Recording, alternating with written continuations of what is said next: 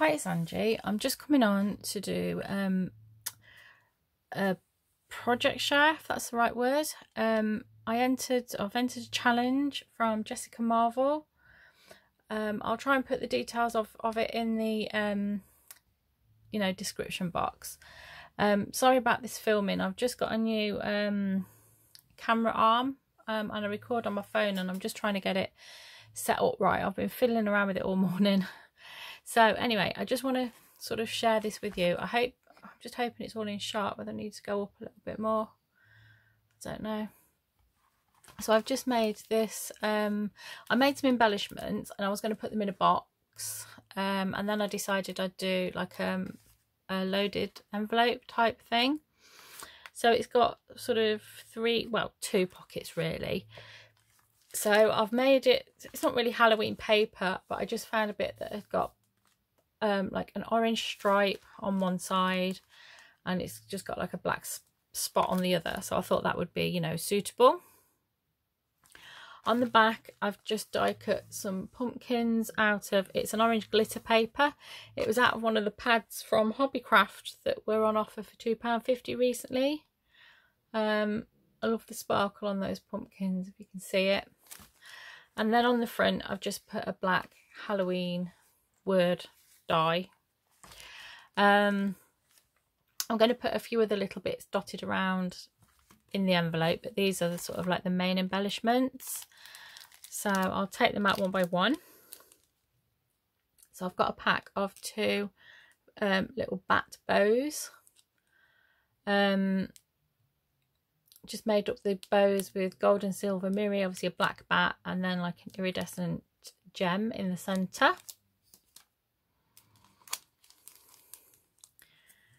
I showed these recently on um, a video I did of some a set of Tim Holtz dies that I've been using.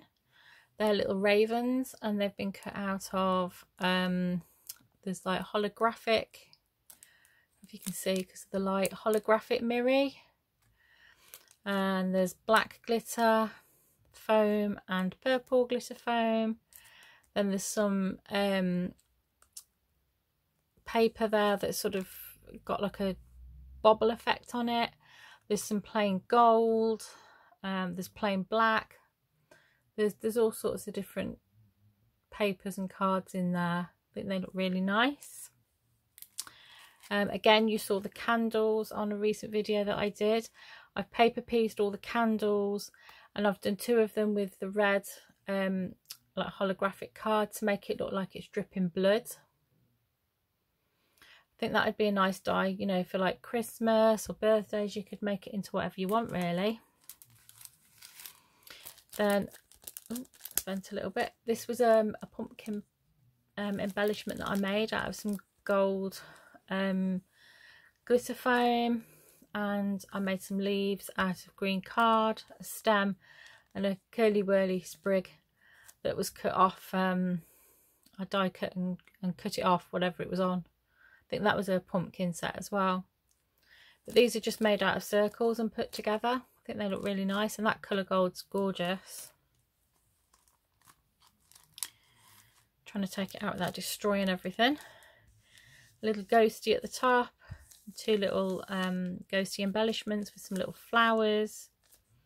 Is Hocus Pocus and Ghostly Greetings. I think he's a friendly little ghost. He looks friendly. Then I've got this skeleton face um, on a green circle of cards. And then I've got the sort of coloured thing behind that is cheesecloth that I've coloured green, purple and orange with some marker pens.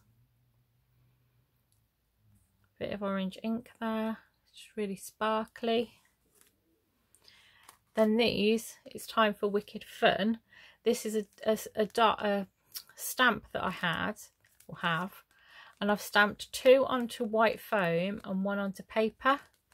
The paper is the one at the top and I've just coloured it in with like purple, pink, green and a bit of like iridescent um, just normal markers and the same with that one but just on foam and then that one you can't see a lot of it but I've just left it blank I've just left it stamped so it's just got like a light black stamped image of the skull with no colour on it. So that's that's the first pocket there. There is a little pocket. I did leave that bit open there, but I'm not sure I'd get anything in it. I think it's like, I've, I've probably got like a couple of sets of embellishments in it, but it's really tight. But that's like the main pocket there.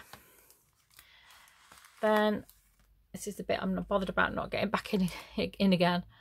I made a little box out of a die that I've got. I made it out of little ghosty paper.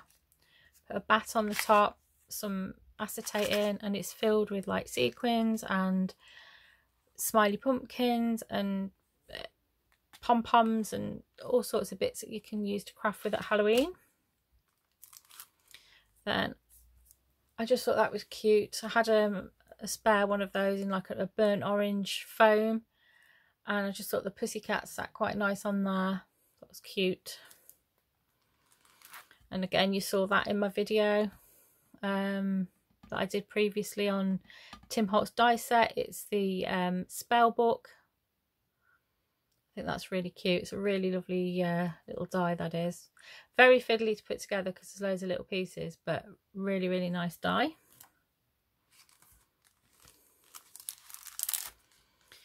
Then I cut some banners out of some gold cards and then a smaller banner to go inside. And I've put some little die cuts on. And I put jemmies on them all. And I've just stamped a trick, trick or treat, smell my feet on that one. Then I die cut some um, bows, just, just a pretty bow out of some Halloween paper and some Halloween coloured felt and foam I just thought, you know, you, you could use those at Halloween or you could use them at, you know, whenever you want because they're not particularly Halloween themed apart from the, probably that one at the back. I mean, that one's just cats, could use at any time. And I really enjoyed doing these, the coffins. So it's a die cut coffin out of um, very shiny black card. Then there's a layer of purple tulle, probably just see it there with the glitter on it. Then there's a layer of black foam, shine, um, sparkly foam. I love that foam. I bought about 10 pieces of it from Hobbycraft because I love it so much. But they do have it all year round. Um, then again, the shiny black card and then the word Halloween on the top. Just think that's really cute and that's that's cut out of foam. Just put those together in the packet. Just thought they look nice. And then, is this the last one? Let me just check. Yep, um, a pumpkin, very, very sort of embossed pumpkin, that one. And this, this die is a perfume, well, I think it's a perfume bottle that I had from Hobbycraft. Oh, probably three, maybe four years ago. And I've used these before as like um, bottles for Halloween. And I sort of cut them out of Halloween sort of colours. It's like an iridescent purple, gold, green and black um, and I've just put a little bit of that cheesecloth in the middle again that I've coloured with purple and uh, orange um, markers just normal pens just colour on it looks great little bit of that behind it and then I've used a Tim Holtz label on them all as if they're you know poisonous and and that and just put apothecary at the bottom so that's what's going in the loaded envelope um, I've also got a pillow box with some little goodies inside there. And I've also got a box of die cuts. I might try and like make this look a bit more pretty. Um, I've also got these set of four die cuts. I think they look really nice together. And again, that's out of that really shiny black card.